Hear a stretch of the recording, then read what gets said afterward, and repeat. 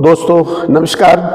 मेरा नाम है प्रोफेसर आर के शाक्य मैं Prince institute of innovative technology Greater Noida, इसमें पिछले 12 साल से कार्यरत हूँ।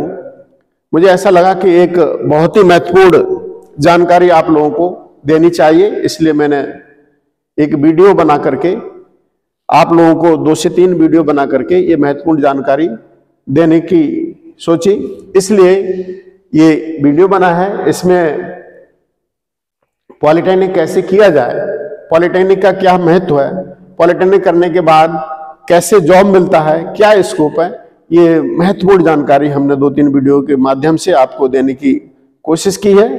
कृपया इसको देखें तो आपको लगेगा कि पॉलिटेक्निक कितना महत्वपूर्ण है टेंथ क्लास के बच्चों के लिए तो इसलिए मैंने ये वीडियो बनाया है। और आज मैं आप लोगों को बताने जा रहा हूँ कि पॉलिटेक्निक के बारे में ये पॉलिटेक्निक क्या होता है? आप लोग देखेंगे। ये संयुक्त प्रवेश परीक्षा पॉलिटेक्निक 2024 के बारे में बताने जा रहा हूँ। ये उत्तर प्रदेश सरकार के अधीन डिपार्टमेंट आता है।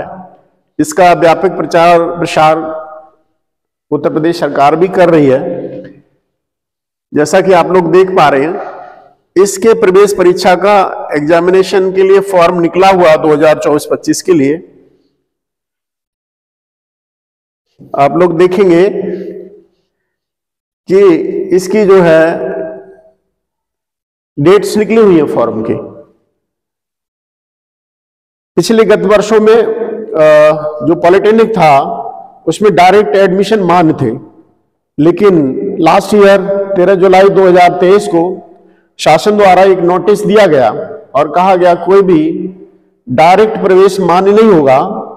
और इस तरीके से इस वर्ष से कोई भी बच्चा जो पॉलिटेक्निक प्रवेश परीक्षा बगैर अगर एडमिशन लेता है, यानी डायरेक्ट एडमिशन लेता है तो उसका एडमिशन मान्य नहीं होगा पूरे प्रदेश के अंदर। ऐसा शासन का आदेश है।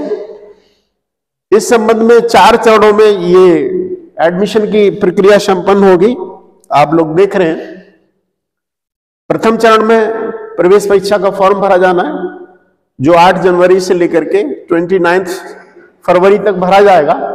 ये कार्य चल रहा है, ये ऑनलाइन फॉर्म के माध्यम से आप लोग प्रवेश परीक्षा का फॉर्म भर सकते हैं। सेकंड चरण में जो बच्चे फॉर्म भरेंगे, उनका एंट्रेंस एग्जामिनेशन होगा।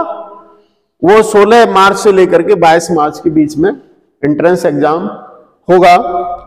और जो बच्चे एंट्रेंस एग्ज़ाम देंगे, उनका तृतीय चरण में परीक्षा फल आएगा।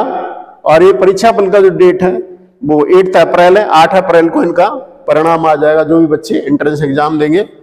और लास्ट में ये चौथे चरण में काउंसलिंग का प्रक्रिया शुरू होगी। और इस काउंसलिंग की प्रक्रिया के माध्यम से पूरे प्रदेश भर के बच्चों को एडमिशन मिलेगा। ये कार्य जो है 25 मई से लेकर के 15 अगस्त तक चलेगा, करीब दो से तीन महीने ये प्रवेश का कार्य चलेगा। इसके बाद एक तरीका ये भी है, यहाँ पर एक ऑफिशियल वेबसाइट दिया है, गवर्नमेंट की तरफ़ से www.gcupadmission.nic.in इसको आप ओपन करेंगे, इंटरनेट के माध्यम से तो एक फॉर्म खुल के आ जाएगा, उसको आप फिल कर लेंगे, और आपका फॉर्म भर जाएगा, उसमें लास्ट में आपको पेमेंट करना होगा। एक स्कैनर है, इसके माध्यम से भी आप स्कैन करके इस फॉर्म को खोल सकते हैं। और आप चाहें तो गूगल से सर्च करने के बाद में इस वेबसाइट पर आप फॉर्म भर सकते हैं। उसमें जनरल कैटेगरी ओबीसी और ईडब्ल्यूएस जो कैंडिडेट होंगे, उनके लिए शासन की तरफ़ से फ़ीस तीन सौ रुपए रखी गई है। एस सी के लिए दो सौ रुपए रखी गई है। इसके लिए हमारे संस्थान की तरफ़ से भी एक फैसिलिटी दी गई है। वो फैसिलिटी हमने यहाँ पर एक यू जनरेट किया है। इसको आप लोग स्कैन करके खोलेंगे तो भी एक गूगल फॉर्म खुल जाएगा। उसमें जो भी रिक्वायर्ड डॉक्यूमेंट्स आप लोग दे देंगे या ये जो स्कैनर है, इसके माध्यम से स्कैन करेंगे तो भी गूगल फॉर्म खुल जाएगा। उसमें आप अपने डॉक्यूमेंट को अपलोड कर देंगे। तो हमारे संस्थान की तरफ़ से भी जो हमारे आईटी पर्सन है वो आपका फॉर्म भर देंगे। और टेक्निकल एजुकेशन को बढ़ावा देने के लिए संस्थान की तरफ़ से 50 परसेंट फ़ी हमारा संस्थान बियर कर रहा है। अगर हमारे संस्थान की तरफ़ से आप भर रहे हैं तो जनरल और ओबीसी और ईडब्ल्यूएस के बच्चों के लिए एक सौ पचास रुपए मात्र लेंगे। एक सौ पचास रुपए हमारा संस्थान भरेगा और एस सी के बच्चे 200 की जगह सौ रुपए देंगे। सौ रुपए हमारे संस्थान की तरफ़ से उनका शुल्क भरा जाएगा। तो इस तरीके से आप लोग ये एंट्रेंस एग्ज़ाम का फॉर्म भर सकते हैं। आगे बात करें योग्यता की एलिजिबिलिटी की, कि कौन सी क्लास के बाद में पॉलिटेक्निक होता है तो आप लोग देख रहे हैं कि पॉलिटेक्निक एक इंजीनियरिंग का डिप्लोमा थ्री ईयर कोर्स होता है।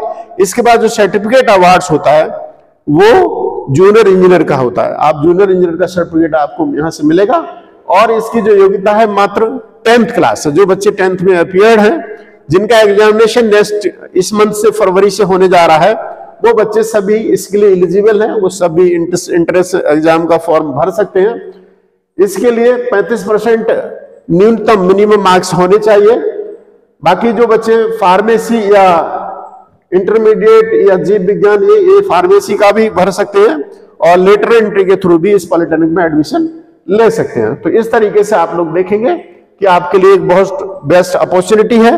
इसे करने के बाद आपको लगेगा बहुत आसानी से आपको जॉब मिलेगा और आपके जो गार्जियन हैं, उनको पता भी नहीं चलेगा और आपका पूरा की पूरा जीवन सफल हो जाएगा। Thank you very much